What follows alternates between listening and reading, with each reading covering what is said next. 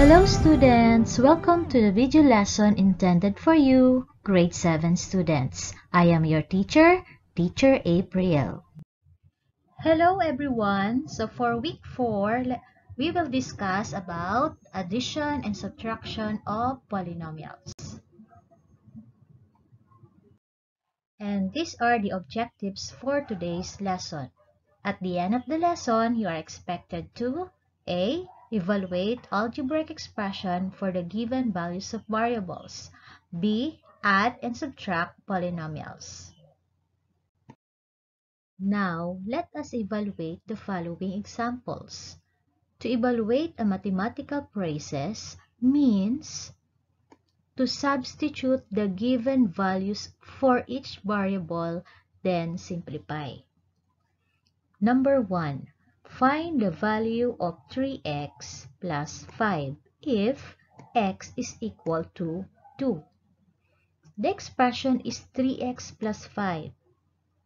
Okay, so you are going to substitute the value of x which is 2. So this will become 3 times 2 plus 5. Then simplify following the MDAS or the PEMDAS rule. So you're going to multiply first before you add. 3 times 2 is 6 plus 5. 6 plus 5 equals 11. So this will be your answer. Next, number 2. Find the value of 6ab minus c all divided by a, b, c if a is equal to 5, B is equal to 3, C is equal to 10. Take note, if there is no symbol between a number and a variable, then the operation is multiplication. Again, you're going to substitute the given values for each variable. So we have 6 times 5. This is your A times 3 minus 10 all divided by 5 times 3 times 10. So let us simplify multiplication first. We have 6 times 5 times 3 equals 90 minus 10. 5 times 3 times 10 equals 150. Then subtract 90 minus 10 equals 80 divided by 150 and then reduce to lowest term just cancel 0 so the answer is 8 over 15 okay so for your learning task 1 find the value of the expression given the values of variable. So we have numbers 1, 2, and 3. Okay? Now, let us consider the expression 5x squared minus 2y plus 7. So, 5x squared, negative 2y, and 7 are terms of the expression. Each of these terms are called monomial. So, in the first term, 5x squared, the symbol 2 is an exponent. An exponent is a symbol or a number at the upper right-hand corner of a variable or constant that indicates the number of times the base is used. The base is the repeated factor. So, in 5x squared, ang base natin ay x. Kasi inulit siya ng dalawang beses. In 2y, negative 2y, ang exponent natin is 1. So, ang base natin ay y. Okay? So, 5 and negative 2 are called numerical coefficient. It is the numerical factor in a monomial. While x squared and y are called literal coefficient. Ito naman ang literal factor in a monomial. And 7 is a constant. So, if the numerical coefficient is 1, it may be omitted. So, tinatanggal na. For example, x squared. So, wala kayong nakitang 1, pero nangangahulugan na ito ay 1x squared. Okay? So, terms with the same literal coefficients are called similar terms. For example, 3x and x. The literal coefficients are the same because they have the same variable. Next, negative 5x squared and 8x squared. So, the same literal coefficient since it has the same variables and exponent. Next is 5xy and negative 2xy. So the same variables is also a similar terms. Since the terms are similar, it can be combined. So po pwede mong pagsamahin ang magkaparehas na literal coefficient. On the other hand, terms with different literal coefficients are called dissimilar terms. For example, 3x and y. So, tingnan mabuti ang literal coefficient, magkaiba. Next, negative 5x squared and 7x cubed. So, the same variable but different exponent. Next is 3abc and negative 5ac. So, we have different literal coefficients. We cannot combine terms which are not the same. Okay? So, that is how you identify the similar terms and the dissimilar terms. Now, let us proceed with addition of polynomials. So, let's say, for example, add 4x squared minus 2x plus 5 and 7 plus 5x cubed plus 4x minus x squared. First, arrange the polynomial in descending or ascending order. So, titingin kayo sa exponent. For example, the first polynomial is already arranged in descending order. We have 4x squared, negative 2x, which is the exponent is 1, and the constant, which is the exponent is 0. The second polynomial is 7 plus 5x cubed plus 4x minus x squared. This will become 5x cubed minus x squared plus 4x, which is the exponent is 1, and 7, which is the exponent is 0. Okay? Then, combine like terms. So, pagtapat-tapatin ang magkakaparehas ang literal coefficient. Yan. Okay? So, since wala kayo nakikitang first term, i-bring down lang natin siya. Okay? And then, add following the rules in addition of integers. So, we have 4x squared plus negative x squared. So, kung mapapansin nyo, walang numerical coefficient, pero meron siyang 1. So, we have unlike sign. Positive 4 and negative 1. So, subtract the number and copy the sign of the greater absolute value. So, we have positive 3. 4 minus 1 is 3. Why positive? Because the bigger number is positive. Then, copy the literal coefficient x squared. Next term, we have negative 2x plus 4x. Again, unlike sign, subtract and copy the sign of the bigger number. We have 4 minus 2 is 2. Why positive? Because the sign of the bigger number is positive. So we have 2x. Copy the literal coefficient. Next is the constant. Combine positive 5 plus positive 7 equals positive 12. So therefore, the answer is 5x cubed plus 3x squared plus 2x plus 12.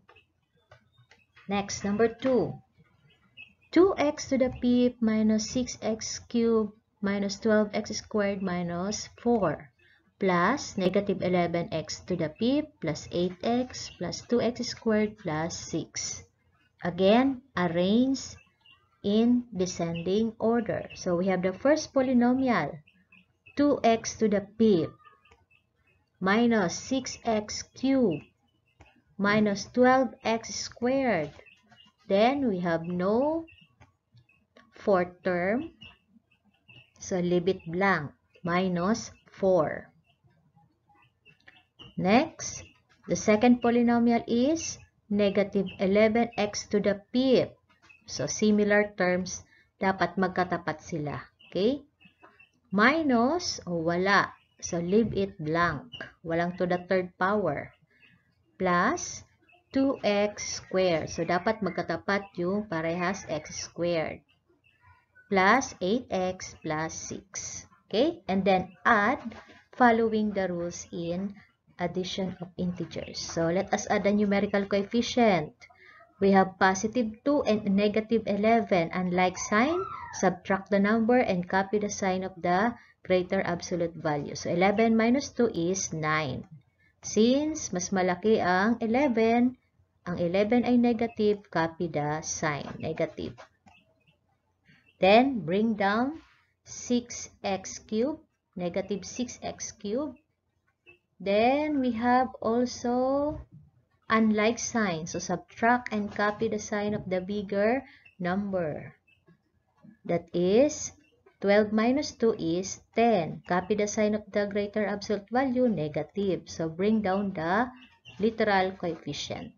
And then bring down positive 8x. Then simplify negative 4 plus 6. Positive 2. So therefore, the answer is 9x to the fifth minus 6x cubed minus 10x squared plus 8x plus 2. Okay, so this is how you add polynomials. Just follow the rules, especially the rules in addition of integers.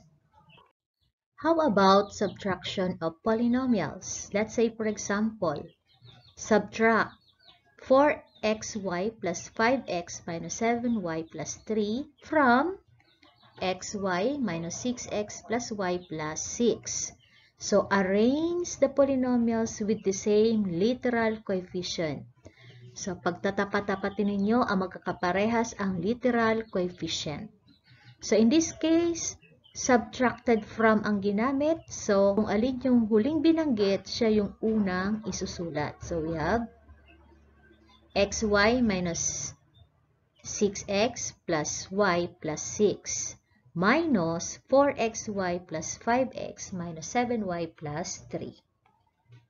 So, ayan. Pagtapat-tapatin ang magkakaparehas ang literal coefficient.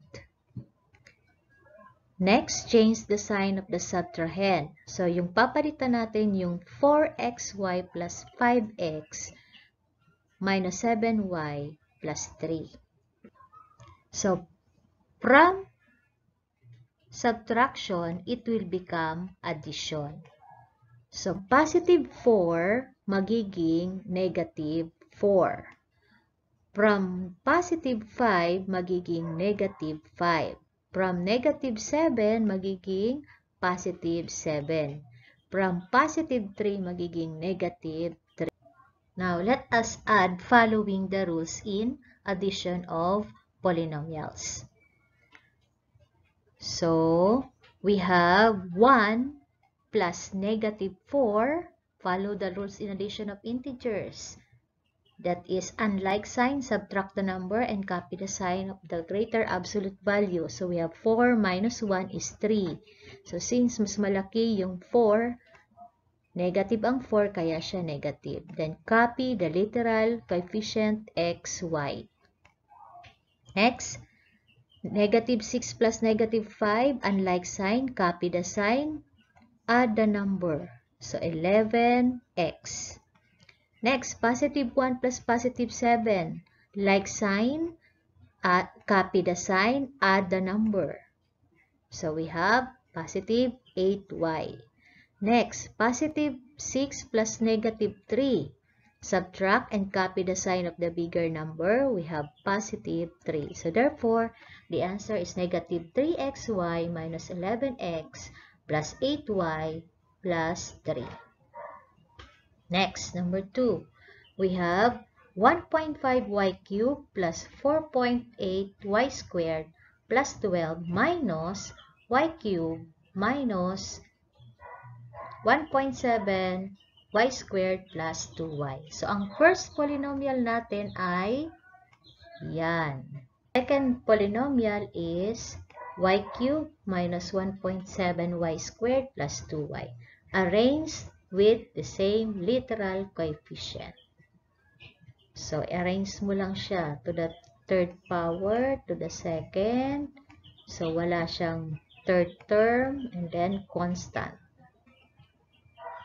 Then, change the sign of the subtrahend. So, papalitan natin yung subtrahend.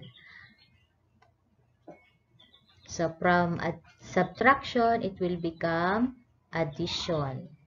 From positive y cube, it will become negative y cube. From negative 1.7, it will become positive 1.7 y squared. From positive 2, it will become negative 2y. Okay, so again, pagtapat-tapatin ang magkakaparehas ang literal coefficient. So kung wala siyang katapat, so you need to bring down the term. Okay, so 1.5y cubed plus negative 1y cubed equals 0.5y cubed. Then, Positive 4.8y squared plus positive 1.7y squared equals positive 6.5y squared. Bring down negative 2y, bring down positive 12. So therefore, the answer is 0.5y cubed plus 6.5 y squared minus 2y plus 12. So remember to follow the rules. Do not forget to change the sign of the subtrahend, then add or follow the rules in addition. Then it's time for you to answer the learning task number 2 in letter B. Perform the indicated operation. So you have 10 items. Sana ay may natutunan kayo kung paano mag-add and subtract ng polynomials. Okay? Thank you for watching. Always remember, study with love, study with all your heart.